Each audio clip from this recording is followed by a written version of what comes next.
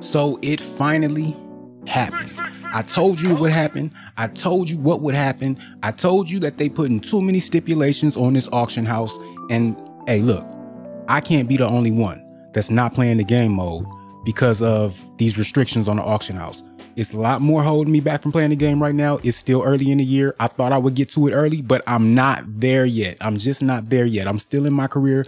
And this is one of the biggest reasons why. Chris Final Status 23 got permanently banned from NBA 2K25 because I tried to buy the only Emerald Mike Brown coach for over 150K MT on a bid.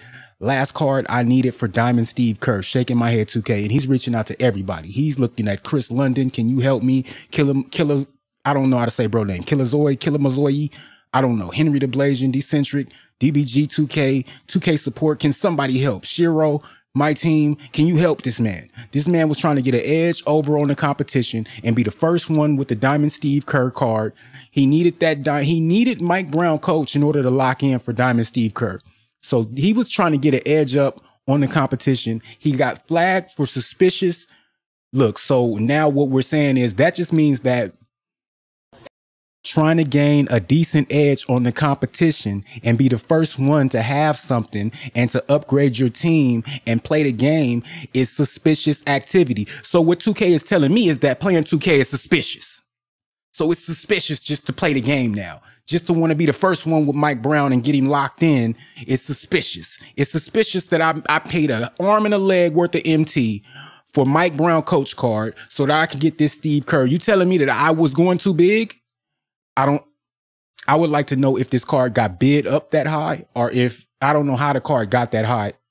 I think you can go to 100k. You tell me. You guys that have been playing my team, you tell me how how high can you place a card for on the on the auction house? He says this was the only Mike Brown that he saw on the auction house. It was there for 150k MT. Is that the bid that he made? Was anybody else bid on it beforehand? Did they look at the bid transactions, or do they just have a bot looking at the bid? Do they just have a bot that says, no, this doesn't look right to me? Or do they have a human looking at the bid and looking at how many cards are available? And is there is there some type of criteria to tell them whether or not this is suspicious? Or are they just flagging posts that they just a bot just thinks is suspicious? Let's see what Carlos Story had to say about it. So Chris on Twitter, final status, he said that he got permanently banned from 2K25 because he tried to buy the only Emerald Mike Brown coach for over 150,000 MT. And I'm going to tell you right now, never buy a coach for over like, who's buying a coach for 150K, brother? Like, what are you doing? This is, a, we already knew that too. What? What do you mean? Don't buy the, so don't get a leg up on the competition because the a bot is going to ban me. At this point, I wouldn't even want my account back. That's crazy to me to hear this man say, you already knew that they was gonna ban you. No, I didn't. No, I didn't. They said that they're gonna ban suspicious activity. How am I supposed to think that the only Mike Brown on the player market or on the I would like the player market back if this is gonna be how it is. As we speak, I mean, just because it came up. But how am I supposed to think that this is supposed to be illegitimate activity? The only Mike Brown that I see on the fuck, I'm I'm I'm teed up. I'm teed up. How can I hear this man say this? I I was a fan. I was a fan. Your voice is yes a little bit crazy sometimes, but I was a fan. But now I'm thinking I need to hear more of what you're saying because I don't I just don't get it, buddy. Has a system where they're gonna flag stuff, and so why are you buying a coach? Now listen, the reason he did it is because he needed to get a certain card. It's another coach, which again, a coach card like a player I get. You know, spending over 100k for a player, you gotta do what you gotta do. LeBron James right now super expensive, right? Uh, it don't matter. It doesn't matter at this point. A player or a coach or whatever. He's trying to get a coach in order to get another coach. Or is, is Steve Kerr a coach or a player card? Was it a coach card, player card? Either way, he's trying to he's trying to get Mike Brown off the player market, off the off the auction house, which should be legit. He's not, it doesn't look like he bought any MT. How are you buying MT? If you're buying MT for the first, anyway, if you're buying MT anyway, you're selling a card. So they must have thought he was selling MT. So he, so, so, so they thought, the bot thought that somebody bought 150,000 worth of MT from him. I get it. I get it. I see now. But this is a flaw in the system. I told you that this would be a flaw in the system right off the top off the top before anything even went, before before we passed go, before we tried to collect $200, I told you. Oh shit. Oh shit. This would be a problem. This would be a very big problem and that somebody would get banned for no reason for trying to get a leg up in the game. He's trying to be the first one out here with something. He's trying to do something big. And I mean, look at, look what happened. Look what happens. All that means is that NBA 2K still controls the auction house is what, and that's what they wanted from the first place. Yeah, they made it sound like it's about buying and selling MT. Look, they can care less about buying and selling MT. What they want to do is control the market. And that is not how anything works. I mean, okay, it's corrupt. It's how things work, but it's corruption. This is major corruption in the look. I have to call a spade a spade. I don't care who doesn't like it, but I mean, come on, like look what this man he goes on to say. I agree. It makes sense. 150k is crazy, dog. That sounds like a lot of sarcasm. I agree though. But imagine Diamond Steve Kerr on the auction house, he would be over that price even with past 2K games, the gate kept cards that shouldn't have been super expensive were super expensive. I was willing to spend that much or more because I wanted this coach card. He wanted to have the best coach. He didn't deserve to be banned. This kid does not deserve to be banned from the game. This man, whoever this is, does not deserve to be banned from the game. But because they want to control the auction house, they wanted to, that's why we had that's why we had the player market last year. They want to control the market so bad that they're willing to sacrifice players and the community. They're willing to sacrifice their own players for the sake of them controlling everything and making sure that prices don't go above what they want. Now, what does this mean? Well, it's going to trickle down. This means that they saw this man get banned for trying to buy a hundred and fifty thousand dollar card. That they that the that two K. Damn! Why did I, why did I do that? Hey, that spit out, man. Hey, spit out, bro. The community saw this man get banned for trying to buy a hundred and fifty k card. That's going to show the community that 2K doesn't want them buying cards, this card or cards like this for 150k MT.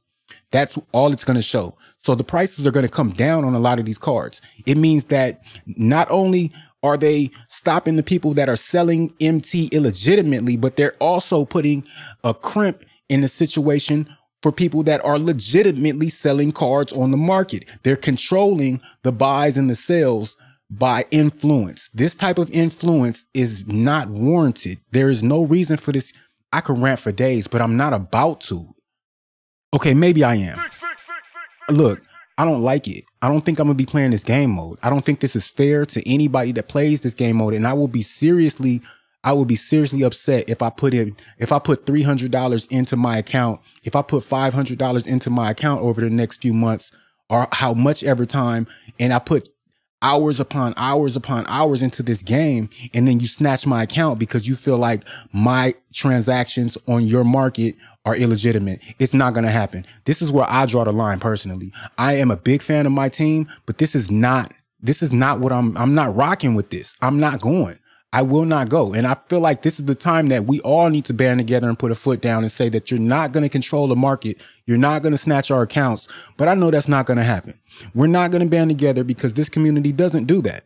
What we're going to do is we're going to all run our mouths, talk a whole lot of hoopla, a whole lot of this and that and who shot John and whatever else. And then everything's just going to go on as normal and something's going to happen down the line. We're going to talk about it again. That's just what's going to happen. That's what I'm used to personally with the 2K community.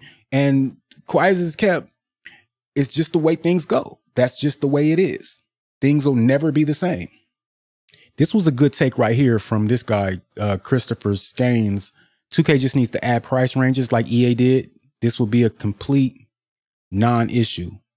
And then this other take here, uh, this is this is the issue with 2K trying to monitor car prices. That's exactly what I was just saying. This is the issue with 2K trying to monitor car prices. Prices. Some cards are expensive because they're good. There are some cards are not expensive because they're good. They're expensive because of what they can do or get you. And guess what, 2K? That's fine. That's called the free market. That is exactly what the auction house should be. That is exactly what I have been saying for the whole video, I have been saying that they're trying to control the market. They are controlling the market And that's just not that's not what America was built on. This is the land of the free, the home of the brave. This is what we're supposed to we're supposed to be I just don't get it. Whoever's in charge, please. I am begging you, please take your foot off of our neck. We will not keep playing this game like this. You'll okay, they'll keep playing the game. I'm I'm lying. They will keep playing the game. At this point in the game though, I'm not willing to put my hard work on the line for you to snatch it away. This is the bigger issue that I am not, I'm not going to be subjected to this type of debauchery. See, 2K needs to take supply into account. If I need a card to finish a collection, of course I'll overpay. Cowboys better be all in is exactly right. It's supply and demand. And what you have done is overlook supply and demand because you have your foot on the necks of the community trying to control what we pay and what we spend and what we and how much we can collect at one time. And buddy right here, King Hunter says they did you a favor. Um, I mean, at this point, it's still early in the year. So yeah, maybe they did do him a favor. Maybe they did do him a favor before he put all his time and all his money into this game. Buddy right here, Coolio Greedy says, dang, I listed mine for 40K. Didn't know how much it was worth. Somebody bought it, and after an error, he got an error that popped up, and they sent the card back to him. I mean, okay, I hey, look, Wait, and then what is this one? How did you get 50, 150K MT? You open packs and sold cards on the auction house. You probably would not get banned. Maybe you bought that 150. Come on, buddy. Are you serious? How did you get 150K MT? Are you serious? Are you serious? This, I'm not, I'm not here for it. I'm not here for it. Ronnie, somebody, Mike, somebody has to, somebody has to do something somebody has to do something in this situation because this is this is crazy. This is filthy work. I mean, it, this is dirty work. Bottom line, this is filthy. Y'all got to get this right. Let's chime in and hear what Ty Debo has to say about it. Let's see what he's talking about. For one, I didn't even know Diamond Steve Kerr was available. Like that's that's True. the first of many things I want to talk about. Like from my side of things, like I, I again, I didn't even know that was a thing. But obviously, right. if Emerald Mike Brown was your last card for Diamond Steve Kerr, a guy like me would wait and be patient. I'm never gonna spend a hundred. I feel that. Okay, that's a take I didn't. That's a take that I didn't. I didn't cater to. I I understand that patience is actually a virtue. Fifty thousand coins on a, on a coach, but we got to realize some people would. Some people aren't like me. Some people don't value MT that much. Some people love to spend money on the game. These as long facts. as they have the best team in the game, they don't really care. And I'm guessing for Chris, that's kind of exactly what happened. Like he wants the best team in the game. He doesn't right. care about MT. Right. He's probably got plenty of it. And um, and yeah, he got permanently banned for buying a coach, an Emerald coach for 150,000 coins. Now look, from 2K side of things, honestly, I get why this looks bad and looks like suspicious stuff like this. I do. I don't. I don't see why this looks so suspicious. But this kind of has to be researched. Again, if you're going to ban people permanently, you've got to have indisputable evidence that right. it is for sure buying MT. And I think they need to research both accounts, what accounts, what the accounts look like, and and and all of those things. I just I do under hey, I I 100% agree with you on that one. I do 100% agree with that. If this is going to be the way things are going, there has to be an audit. There has to be a legit audit. These both accounts involved in the buy and sell that looks suspicious must be audited 100%, thoroughly audited from top to bottom in order to solidify whether or not it is a fraudulent transaction or not. This does not look like a fraudulent transaction to me. And I do not feel like anyone who was buying or selling MT would come to to Twitter to ask Chris London and CJ2K and Shiro and Henry the Blasian to help. I don't. I just don't. Just can't. I can't.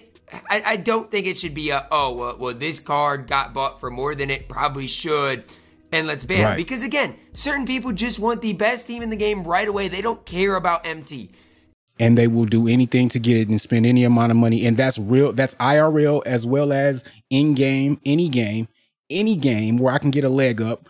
Somebody is there's somebody out there willing to spend an arm and a leg in order to have the best and be the first with You know what I mean? Some people, and then there's some people that just have to show you and everyone else, hey, look, I'm having things over here. I'm having, I got it. Y'all don't got it, I got it. Yahtzee. You know what I'm saying? But either way, I don't feel like, I feel like, I, I feel like 100% Ty is right. There has to be a bigger audit situation going on. This can't be the way that things go. This can't just be the end all beat all. Let's see what your boy Warlow had to say about it. Let's get Warlow into it. Warlow back in a late night video. Y'all gonna see this, this early happened, in the AM. Yeah. I just took a shower for the first time. Straight up, this happened yesterday. And I don't want to know about your sour your shower, sour shower schedule. You just hopped out though. Good job for you just ignore and just walk right past that. Okay, I've been I, that shit stank, don't it? That shit stank. I've been um I've been li- I've been I've been literally grind. I went down to number six, man. These people be grinding too much.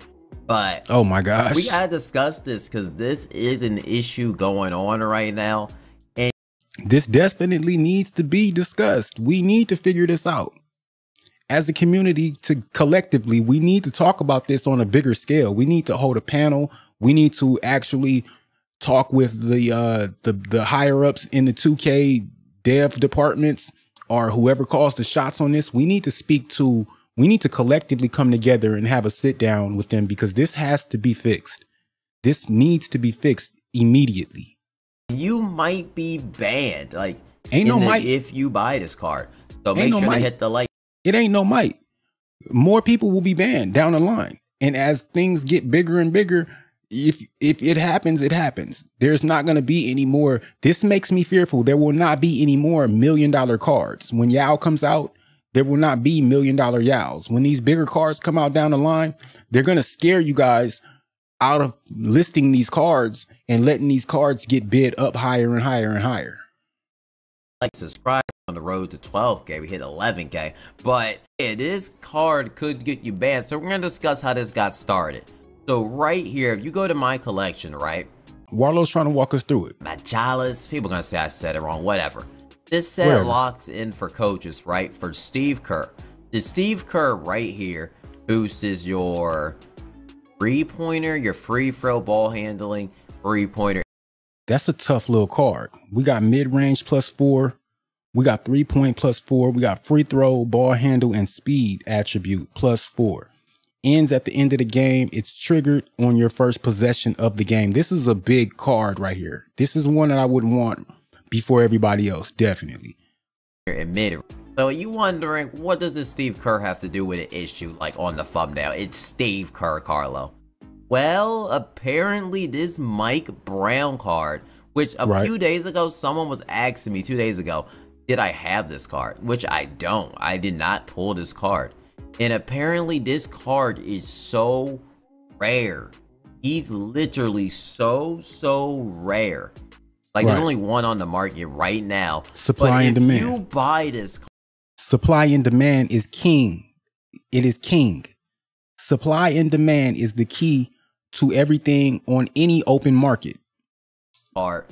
let's say like someone on Twitter actually confirmed it. I'll show it in a second. But if you okay. buy this card, let's say for 38k or 32 or 50, any amount of MT, you will be banned.